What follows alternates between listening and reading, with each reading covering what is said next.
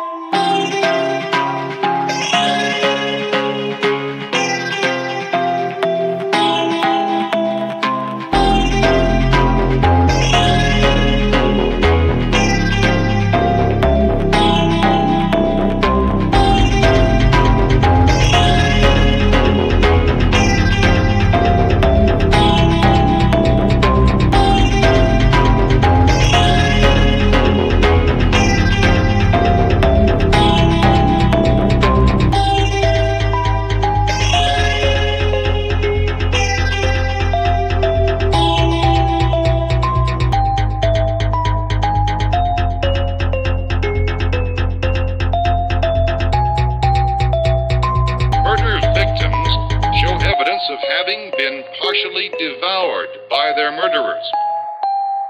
Damn, my girl about a 10. I should fuck her in.